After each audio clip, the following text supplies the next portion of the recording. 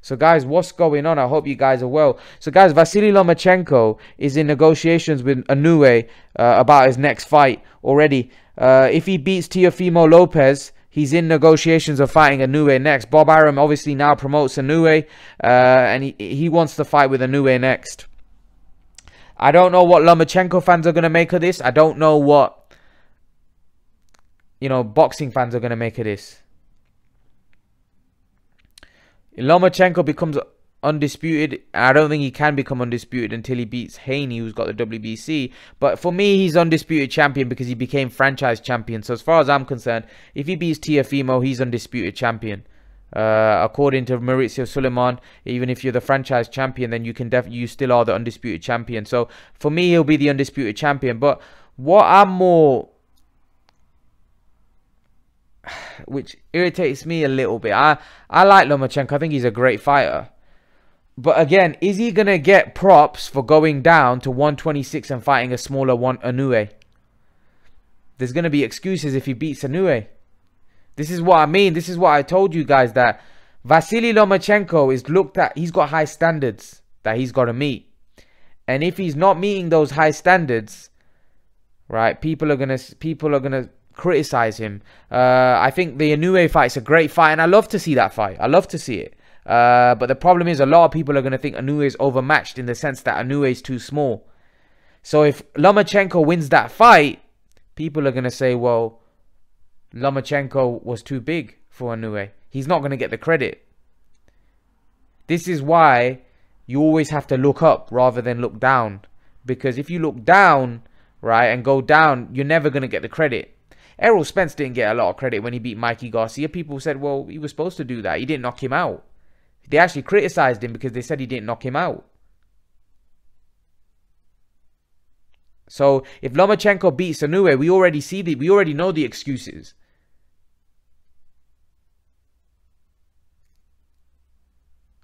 A lot of Lomachenko. I've been calling out for Lomachenko to fight Pacquiao. A lot of Lomachenko fans will say, well, if he beats Pacquiao, people will say he's old. But the difference is, that's a dangerous fight. The difference is, yes, you guys are right. If he beats Pacquiao, which personally I don't think he would, but if he did, right, there will be excuses that Pacquiao was too old, he was washed up. But he beat Thurman. You see, he beat Thurman. So you can click on, well, he beat Thurman. The thing is, with Inoue, there's definitely going to be excuses because he's a smaller dude. With Pacquiao, Pacquiao's fighting at a higher weight class he's going to get a lot more credit fighting Pacquiao.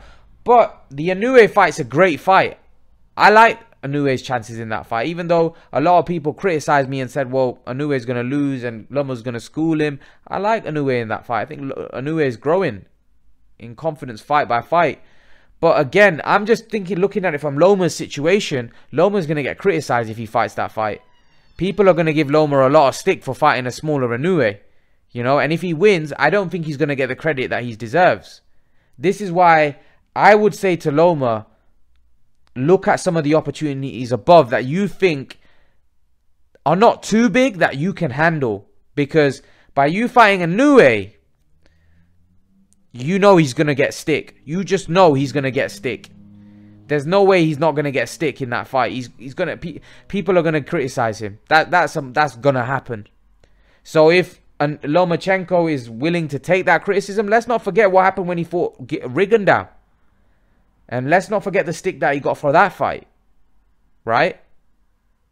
People didn't give him any credit. They said, well, yeah, he fought, uh, he fought um, uh, a small dude in Rigondeaux.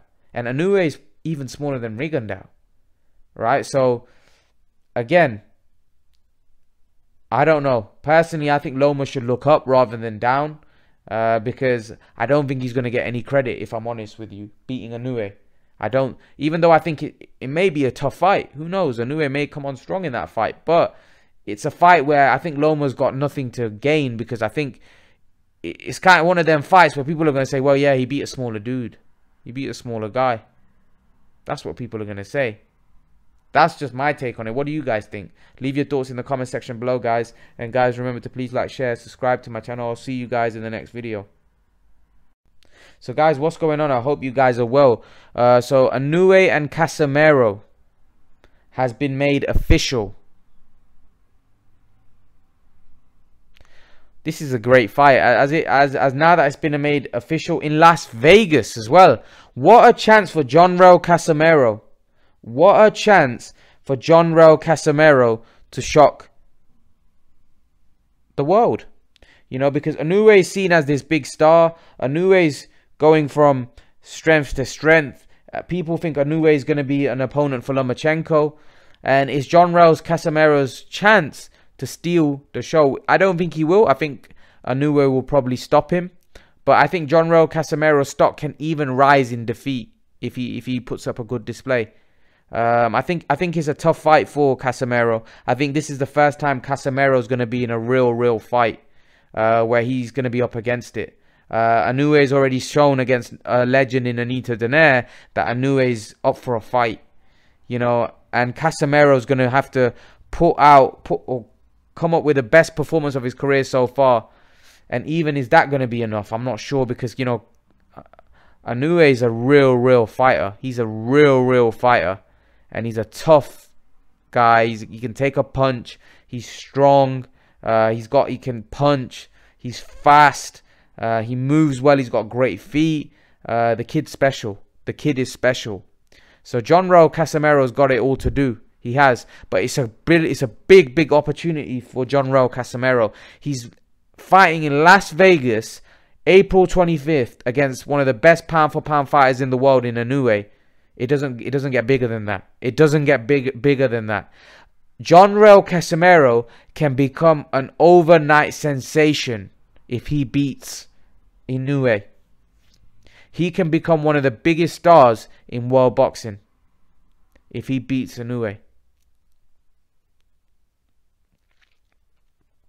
So it's a great, great opportunity for John Raul Casimero. Is he going to be good enough? Many people don't think so. Many Filipinos don't think so.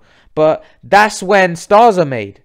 That's when stars are made. No one thought Pacquiao would beat Ledwaba. Pacquiao came up in as a replacement because Casimero's still getting, he's still getting, um,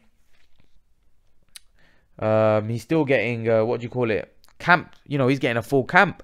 Whereas you know Pacquiao came in as a replacement. However, Ledwaba wasn't one of the best pound for pound fighters in the world. Uh, but he was still a good fighter. But with Inoue, I think Inoue is a special kind of fighter. Inoue is a special breed. And I'm not sure I've seen enough from John Raul Casimero so far in his career to suggest that he'll, he'll, he'll win this fight or he's got, he's got a great chance. Listen, it's a great opportunity. Like I said, even in defeat, John Raul Casimero can rise his stock because he's not expected to win this fight. He's not expect he's expected to go in there putting a, a great performance, but to come out second best. You know, he's a guy that top rank are putting in uh, for you know for in Inoue's first fight for under top rank in order to make him shine, uh, in order to build him as a mega star. So basically, Casimero is being brought in by Arum, right, to make Inoue a bigger star. Uh, they probably think it makes for a fan-friendly fight, and they think that Inoue is going to do a job on him, and he's going to propel into a much bigger star here in the United States. I think it's a case where they're trying to make a fan-friendly fight, and they know John Raul Casimero is going to bring the pain, he's going to bring the heat, uh, so they think it's going to be a great fight. I think that's why they've made it, and I think they think it's going to be a sensational fight, uh, which will help raise Inoue's profile in the United States. I think that's why they've made that fight because I think they know John Raul Casimero is a real fighter and he's going to bring it. And I think that's what Bob Arum wants because Bob Arum knows the great, the better the fight, the more a new star will grow. So um, it's a great fight. It's a great fight. But what do you guys think? Do you think uh, it's a fight that John Raul can win? Do you think it's a fight which Inoue will run away with? Leave your thoughts. Let me know what you think, guys. And guys, remember to please like, share, subscribe to my channel. I'll see you guys in the next video.